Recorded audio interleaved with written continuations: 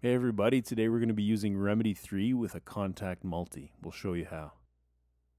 So before we start using reMIDI 3 or Kontakt, we want to make sure they're routed to each other. So in FL Studio 21, the way you do that is you have this little plug-in cogwheel symbol here and then make sure the output port is set to something like 1 or or something else.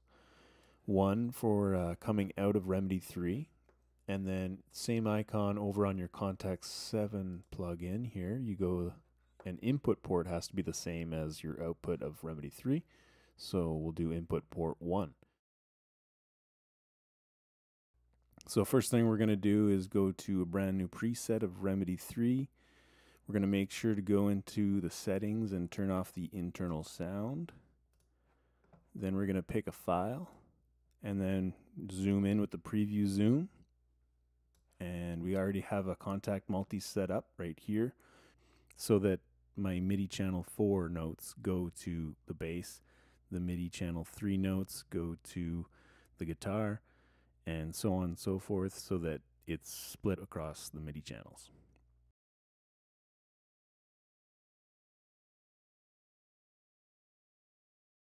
Then you just make sure you choose a slice.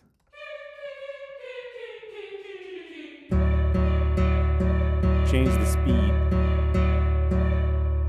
maybe even slower.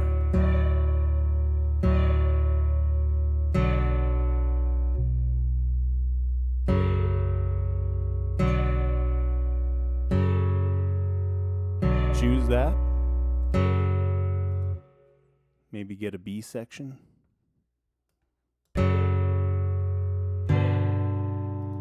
That could be the B section. Now we got two slices on the pads. And you can see the channels one, two, three, four. So the four would be the bass, and you can see that that's what the bass is set up to. One last touch you can you can try. It, it already sounds really cool with the different textures of instruments, but you can go to the strum or the melody tool to spice it up even more. So select the notes once you're in the melody tool. Make sure you're on one beat. In this case, it works well. Min splits zero, max splits, let's try one or two. Randomize.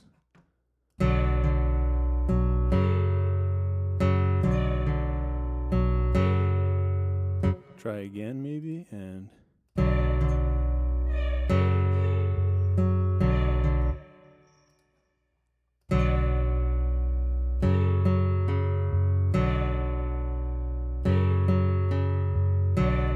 Pretty cool.